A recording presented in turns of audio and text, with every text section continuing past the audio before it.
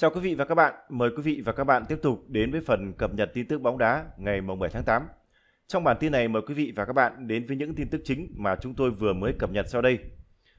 Việt Nam hạ đẹp Malaysia ngày ra quân giải Đông Nam Á. Thái Lan ngậm ngùi chia điểm với đội chiếu dưới ở ngày ra quân. Thất bại trước Malaysia U15 Việt Nam mất vé vào chung kết.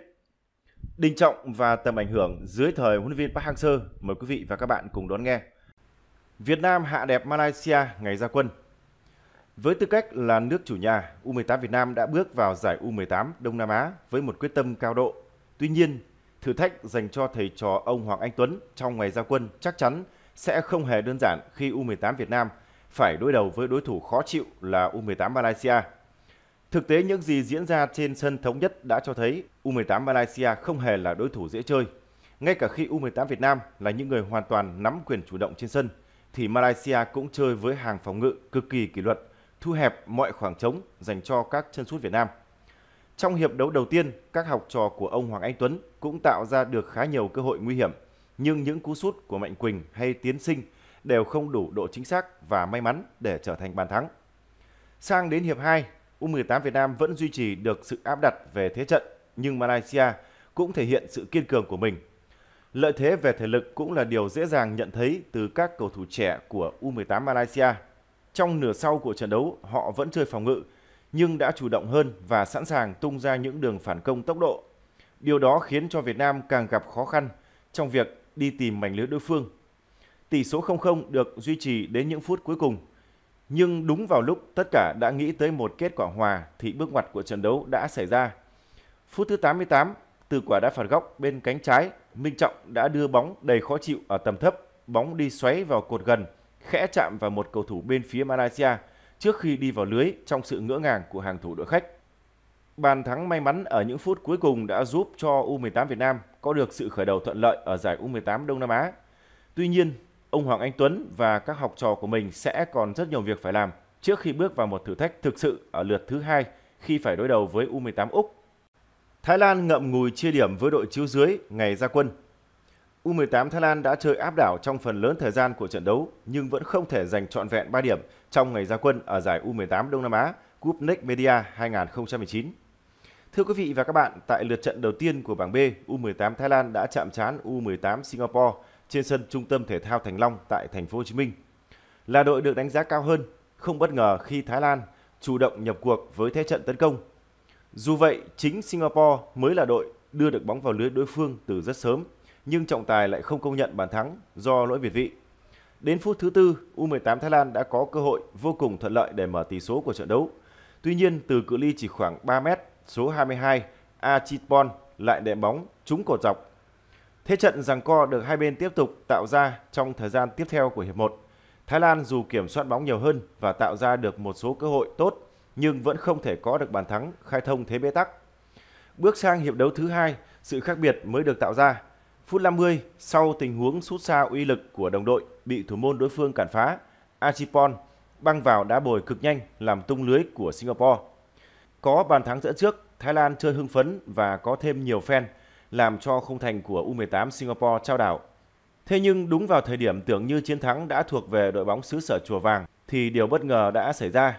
Phút 84, từ cự ly khoảng 20m, Danis, cầu thủ của U18 Singapore đã thực hiện pha cứa lòng kỹ thuật đưa bóng đi trúng xà ngang U18 Thái Lan. Chớ treo thay, bóng sau khi dội xà ngang lại tìm đúng lưng của thủ môn U18 Thái Lan, bật ngược trở lại khung thành. Dù đã rất nỗ lực, nhưng thủ môn này đã để bóng đi qua vạch vôi. Có được bàn gỡ hòa đầy may mắn, Singapore chủ động chơi chậm để câu giờ bảo vệ tỷ số hòa. Trung cuộc, Thái Lan đành chấp nhận chia điểm với tỷ số 1-1 trong ngày ra quân. Australia gửi thông điệp đầy sức nặng đến Việt Nam cho tấm vé đi tiếp tại bảng tử thần. Rơi vào bảng tử thần tại giải đấu năm nay, không ngạc nhiên khi U18 Australia muốn đánh nhanh diệt gọn đối thủ như U18 Campuchia để dồn sức cho trận gặp khó khăn tiếp theo với U18 Việt Nam – U18 Thái Lan và cả U18 Malaysia. Chỉ trong hiệp 1, đội bóng xứ sở chuột túi đã sớm khẳng định sức mạnh khi vươn lên dẫn trước U18 Campuchia tới 3-0. Thế trận trong hiệp 2 có phần hấp dẫn hơn dù cho U18 Australia tiếp tục nới rộng thêm cách biệt lên 4 bàn.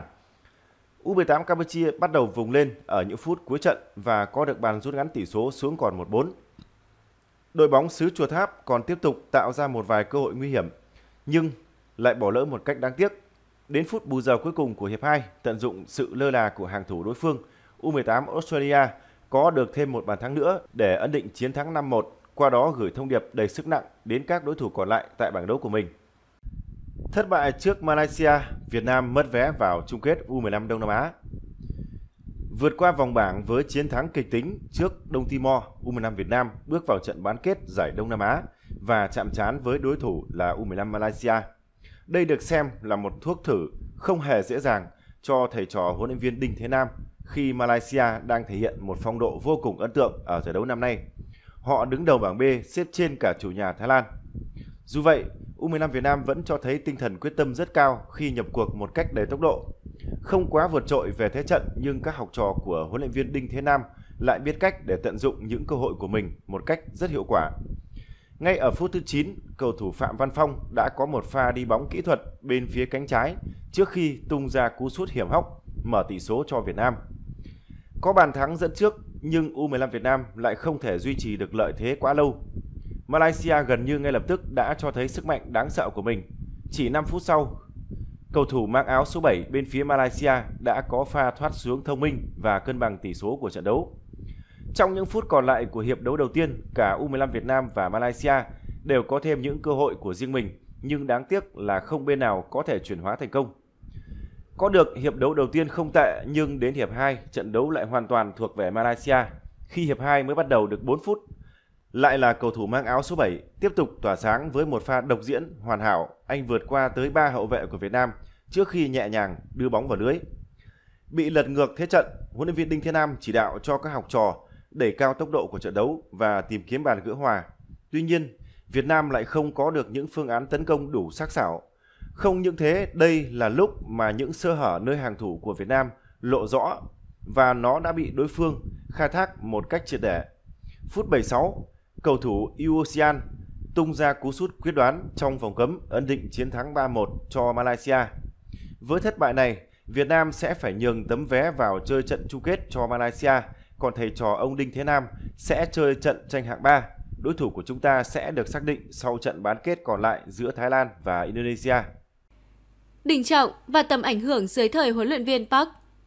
Lối chơi chủ đạo mà huấn luyện viên Park Hang-seo xây dựng cho các đội tuyển Việt Nam hơn một năm qua là lối đá phòng ngự phản công. Trong lối chơi vừa nêu, vị huấn luyện viên người Hàn Quốc dĩ nhiên cần một hàng phòng ngự chắc chắn, cần những trung vệ giỏi và Đình Trọng là trung vệ hàng đầu của bóng đá Việt Nam hiện tại. Nhìn vào hành trình đội tuyển Việt Nam đăng quang tại AFF Cup 2018, chẳng khó nhận ra tầm ảnh hưởng của Đình Trọng lên lối chơi của đội tuyển Việt Nam – Tuy không có thể hình lý tưởng dành cho một trung vệ, song bù lại, trung vệ câu lạc bộ Hà Nội luôn thi đấu sông sáo, phán đoán tốt ý đồ tấn công từ đối phương. Ở 8 trận đấu ở giải đấu danh giá nhất cấp khu vực, Trọng Ỉn có đến 23 pha đánh chặn, 29 lần giải vây. Anh trở thành nỗi ác mộng đối với bất cứ chân sút nào tại Đông Nam Á. Không quá khi nói rằng, Đình Trọng là một trong những cầu thủ góp công lớn nhất vào vinh quang của đội tuyển Việt Nam – một lý do khác khiến Đình Trọng thực sự là không thể thay thế trong đội hình của đội tuyển Việt Nam, đó chính là về tinh thần chiến đấu.